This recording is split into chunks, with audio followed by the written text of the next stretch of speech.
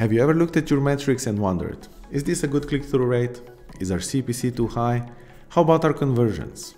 You can now get answers to these questions thanks to benchmarks in Databox. My name is Robert and today I'll give you a quick overview of this new feature in Databox. Let's take a look. Benchmarks allow you to see how you stack up to companies like yours by comparing just about any metric in your account against competitors with color-coded charts. Green when you're ahead of the median and red when you're below.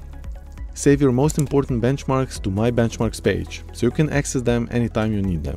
You can then compare saved benchmarks to the previous period to track how your performance changes over time.